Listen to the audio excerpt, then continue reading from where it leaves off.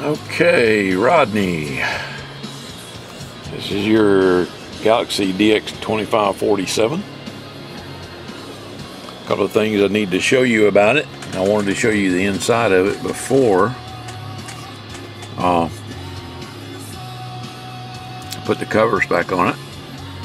See, I've increased the input buffer to a 4700 microfarad 25 volt. I've increased the voltage regulator buffer to a 3300 microfarad. And let's see, there's all your little blue Schottky diodes. These new ones are coming with uh, green striped, they look like the germanium diodes, but I'm not real sure.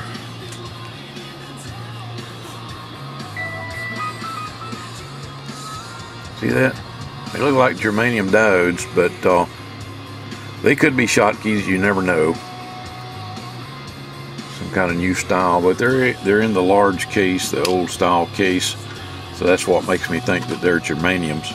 Anyway, I've replaced all the Schottkys. I did the receive upgrades on it. Uh, there's your LesComm L3S3B. All right. And on the front, this is your band switch. Middle is CB.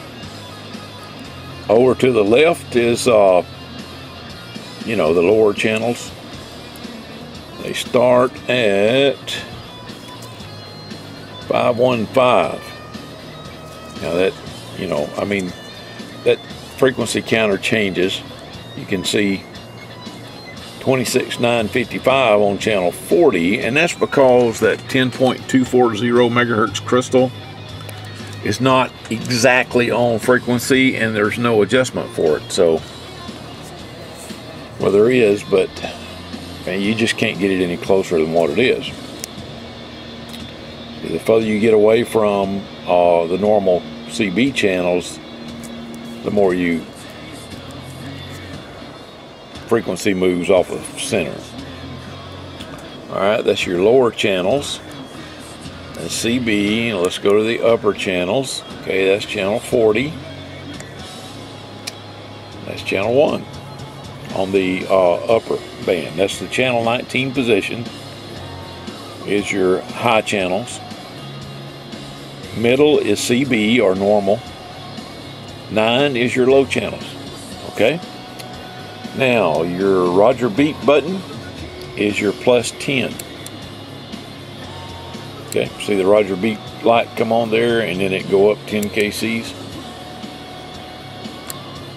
Okay. Uh, let's see. That's not your high channel. If you go to channel 40 and then hit the Roger Beep button, you got one more channel. All right. Do a little power check here. Let me switch to the dummy load. We are, let's see, on channel 40, lower sideband. RF power is turned all the way up. We're on the bottom scale on this meter, on the 100 watt scale right there. That's 40 watts, 20 watts, and that little line there in the middle is 30 watts. Okay, now this is peak power on the times one scale. This guy here is average power, and we're reading on the 100 watt scale on him. He has a 100 watt slug in him right there, okay? Audio, audio, one, two, three, four, five, five, four, three, two, one. Audio. You see we're bouncing, bouncing the 40 watt position, okay? That's on lower side sideband. I'm switching to AM. Alright. We're dead keying right at, what is that, 5 watts? One, two, three, four, five. Yep, dead keying 5 watts. Audio. Swings to about 40. That's with the power all the way up.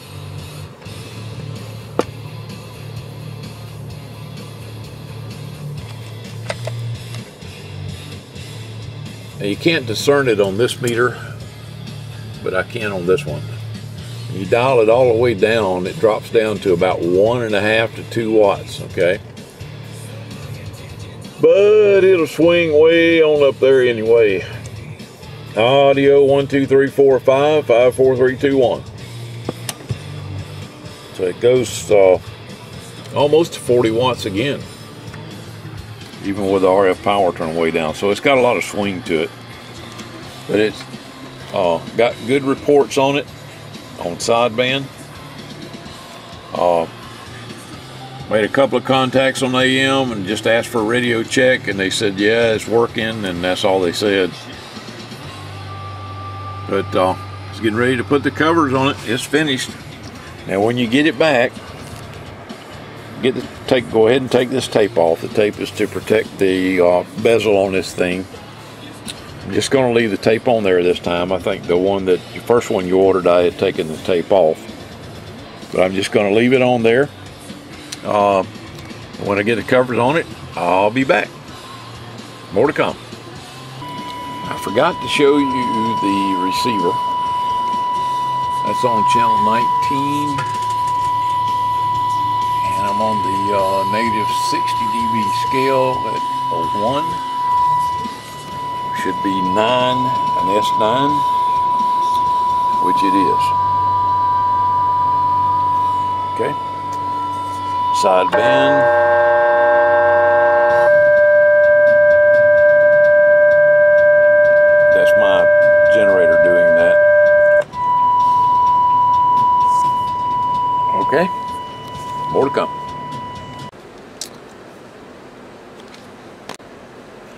Rodney A. in North Carolina. Here we go. Got the covers on it. I told my son uh, that I wanted to do something a little special for you. Since that other one, the covers on it, looked so bad. Had all those scratches on it. So he took the radio and polished up the covers for me. Look at those things shine.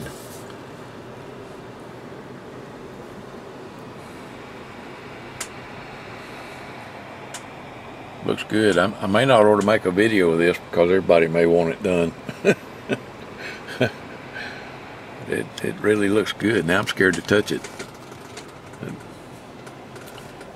Grab it by the tape here in the front. Turn it up so you can get a good shot of the sign.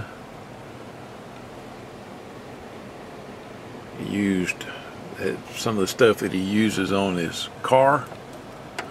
Mother's stuff. Cleaned it up real nice for me, shined it up.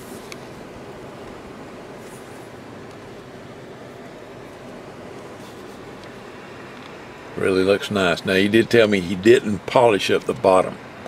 So if you turn it upside down, the the, the bottom of it's not going to be all shined up like this is. Okay. All right. There it is. Now I just turned the radio back on, so it's got to warm up. Once it warms up and stabilizes, then the frequency should stay, you know, real close. But uh, this is a CB radio. It doesn't have a uh, crystal warmer in it, crystal oven. Just got a regular old crystal. So they drift a little bit. But yeah, I can't get over that. That really looks good. And you can see no scratches. I really am sorry about that first one. I still don't know what happened with that. But I'm going to see if I can't put this one inside of a, uh, uh, make a bubble wrap bag to go around it so just put it in that plastic bag and put it back in the box. It, yeah, well, it, when I first saw that, I thought, well, damn, that's how it got scratched up. But um, I don't remember seeing those when I first took it out. And this one was in the plastic bag, and I took it out, and I don't see any scratches on it. So, Couldn't have been from just riding in the box. I don't know how they got on there. But anyway, there you go. All right. Now I'm on the dummy load now. I'm not connected to an antenna. Let's see, where is the antenna? Hook it up. We've got thunderstorms coming in, so I probably won't be able to hear any skip anyway.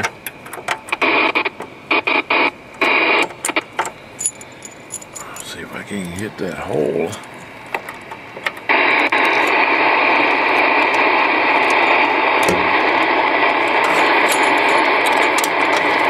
There's one thing I wish that Galaxy would do. Damn little feet on the bottom of this thing. They're very flimsy. Oh, and they won't stay folded up.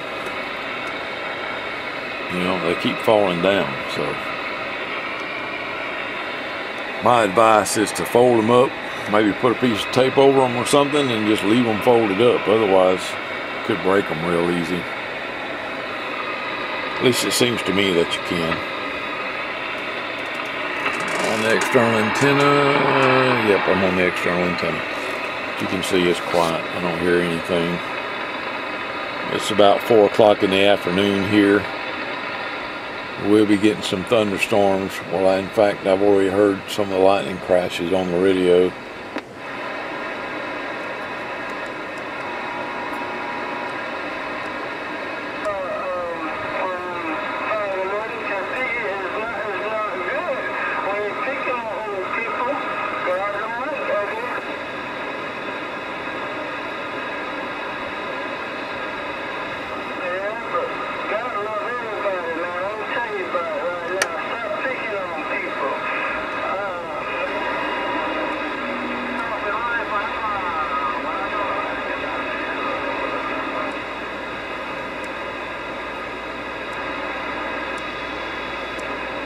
Just looking to see what I can find.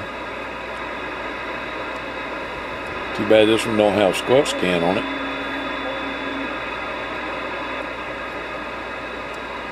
Set squelch, flip the button, and wait on it to find some.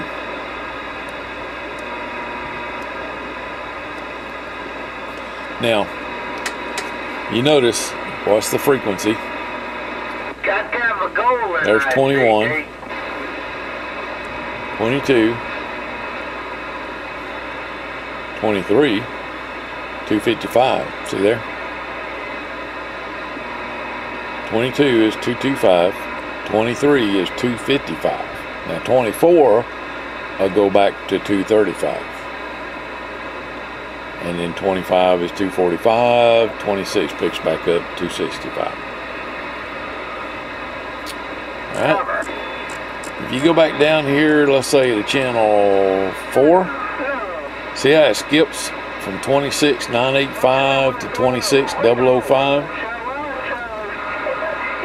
You want to get that at A channel, just put it back on channel 3, push the Roger beep button in, pick up that skip channel.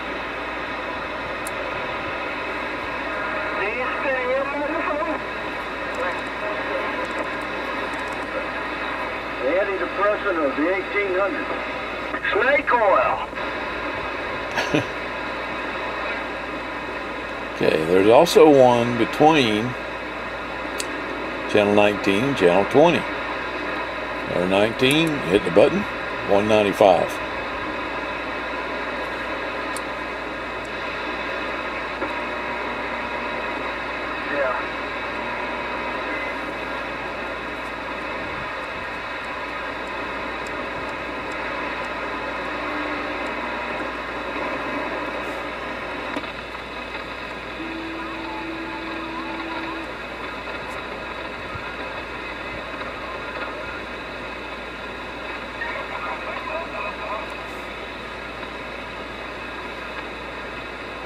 Boy, 38's dead. Like I said, the only thing that we're hearing right now is local traffic because of because of the thunderstorms coming in.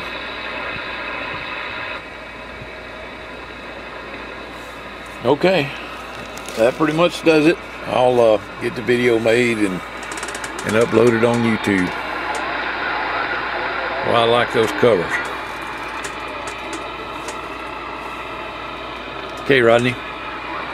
Hope you enjoyed the radio. It was my pleasure to build it for you. 73s, everybody.